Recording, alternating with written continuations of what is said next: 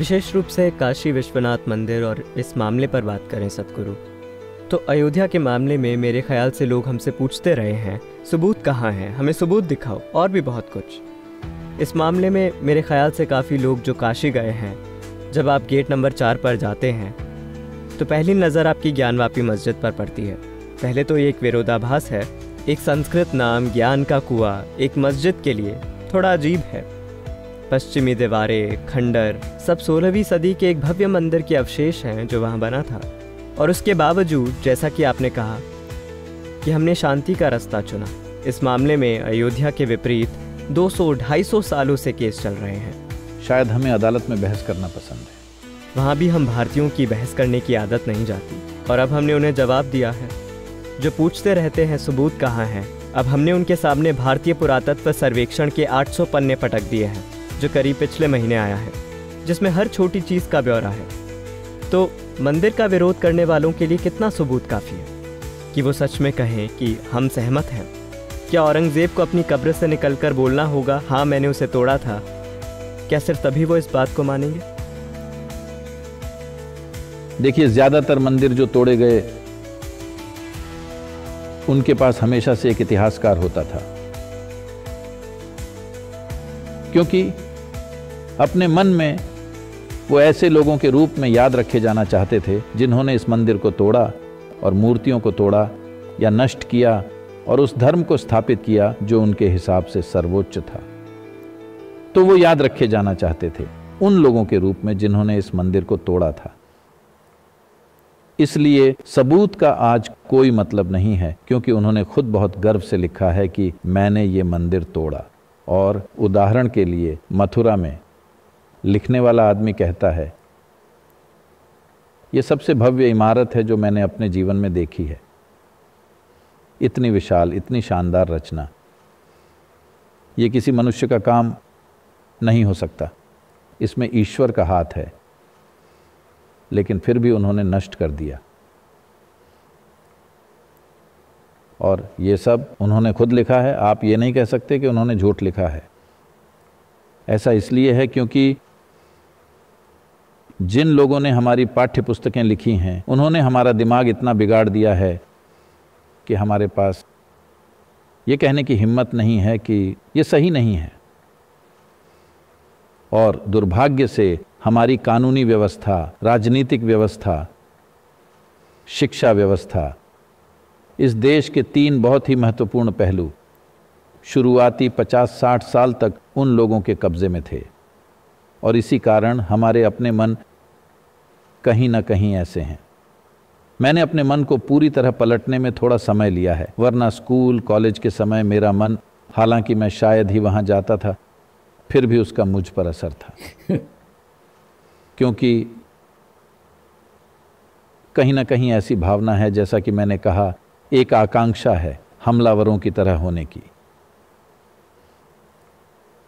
एक शर्मिंदगी की भावना भी है पीड़ित होने की वजह से। इसलिए हम उससे नहीं पहचाने जाना चाहते। अगर संभव हो तो हम अपनी त्वचा का रंग बदलना चाहेंगे, मैं नहीं, लेकिन कई सारे लोग। ऐसी फ़िल्में हैं जहाँ लोग अपनी त्वचा का रंग बदल रहे हैं। बेशक आपकी त्वचा का रंग बदलने वाले कॉस्मेटिक्स हैं, क्योंकि कहीं ना कहीं हमलावर प्रेरणादायक बन गए हैं, जो हर तरह के लोगों के लिए एक भयानक चीज़ है, लेकिन ऐसा हुआ है। खुशकिस्मती पुनरुत्थान हो रहा है और अचानक उनमें तेज़ी आई है और राजनीतिक इच्छा शक्ति दिखी है और अचानक से न्यायपालिका भी सक्रिय हो गई है। फाइनली तो चलिए इन चीज़ों को भूल जाते हैं। अगर हम सिर्फ़ आज के संविधान से चलें जिसमें खुद कुछ पहलू हैं क्योंकि कभी कोई परफेक्ट किताब नहीं लिख सकता किसी चीज़ के बारे में। ये ठीक है आप एक लेखक हैं इसलिए मैं बोल रहा हूँ। अग्रीड कोई कभी एक परफेक्ट किताब नहीं लिख सकता। हर किताब जो आप लिखते हैं उसमें ये दुविधा होती है। अगर आप उसे हज़ार बार पढ़ें तब भी आपको लगेगा कि ये हटाना चाहिए वो डालना चाहिए उसे हटाना चाहिए इसे लाना चाहिए। ये अंतहीन तरीके से चलता रहेगा जब तक कि कोई और या संपादक आपसे ये ना कहे या तो कल तक मुझे ये दे दो या तुम्हारा काम खत्म। तो ये किताब की प्रकृति है। तो संविधान भी आम्बेडकर ने भी ये दावा नहीं किया कि ये एक परफेक्ट संविधान है बहुत अच्छे से काम हुआ है, लेकिन ये परफेक्ट किताब नहीं है तो ये कहना चाहिए कि कुछ समस्याएँ हैं, लेकिन अगर आप मौजूदा संविधान के अनुसार चलें तो ये बहुत सरल है It's very simple. A blind man can see what is Gyanvapi. Braille. You can see these are Hindu icons. एक अंधा भी देख सकता है कि ज्ञानवापी क्या है। ब्रेल से आप देख सकते हैं कि ये हिंदू प्रतीक हैं। उसे देखने के लिए किसी को आँखों की भी ज़रूरत नहीं है। लेकिन हमारे काबिल जजों को ये देखने के लिए 60-70 साल की कानूनी प्रक्रिया लगती है। उम्मीद है कि हम यहाँ अदालत की अवमानना नहीं कर रहे हैं। ये गंभीर अपराध है। नहीं अदालत की अवमानना तब होगी अगर मैं वर्तमान न्यायाधीशों के बारे में कुछ कहूँ. मैं प्राचीन काल के बारे में बात कर रहा हूँ।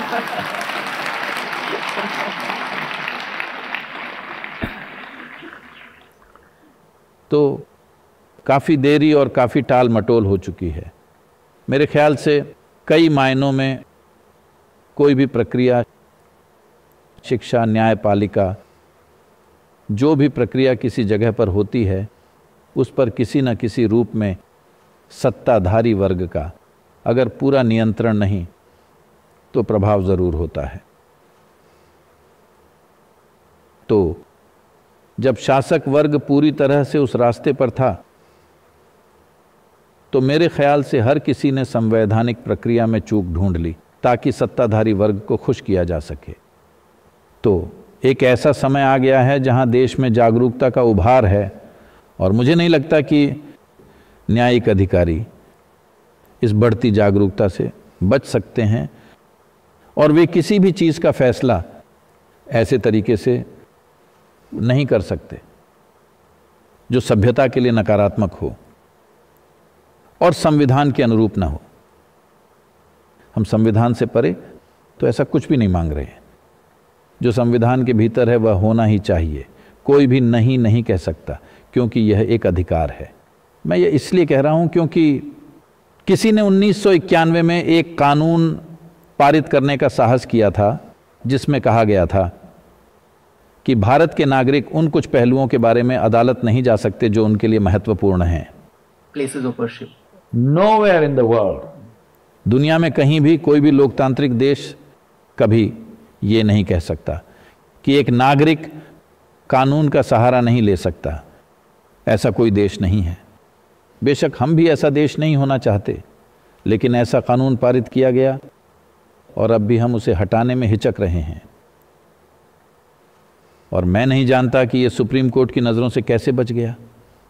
ऐसा कैसे हो सकता है? आप कैसे कह सकते हैं कि इस देश के नागरिक उन चीज़ों के लिए कानून का सहारा नहीं ले सकते जो उनके लिए मायने रखती हैं?